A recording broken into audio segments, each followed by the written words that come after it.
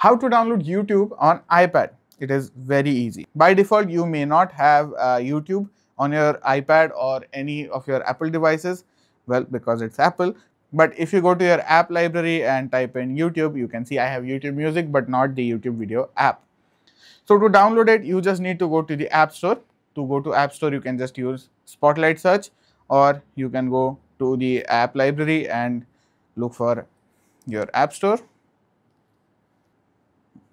Once you're in the App Store here, you can see this is your basic layout.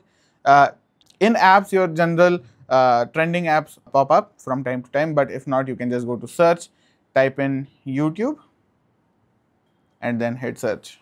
And here you can see we have YouTube, YouTube Kids, YouTube Music.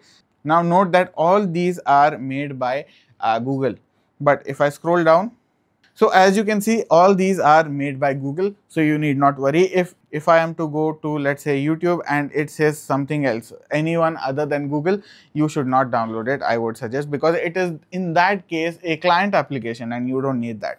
That is going to cause a breach in your iPad security.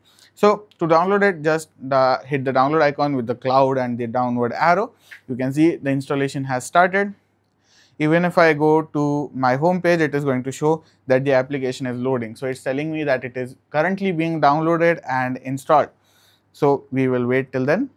So as you can see, YouTube has been downloaded. I can again find it in app library as well. So in creativity, it has added itself. If I go to YouTube now, as you can see, welcome to YouTube and you can just sign in and get on with it. Hopefully this video has been helpful. If it has been, do make sure to like, share and subscribe. See you in the next video.